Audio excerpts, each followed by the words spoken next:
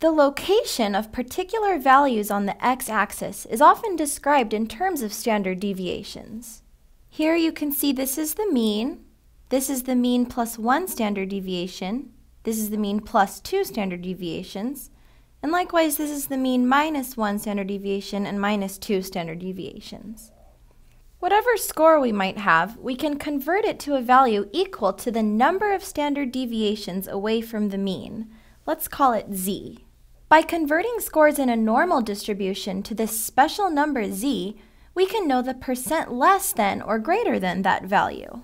For example, if we find that a value is one standard deviation away from the mean, then no matter what normal distribution we have, we know that approximately 84% are less than that value.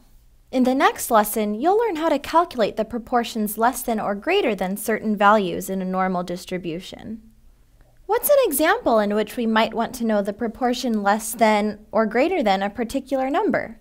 Let's illustrate this with another story.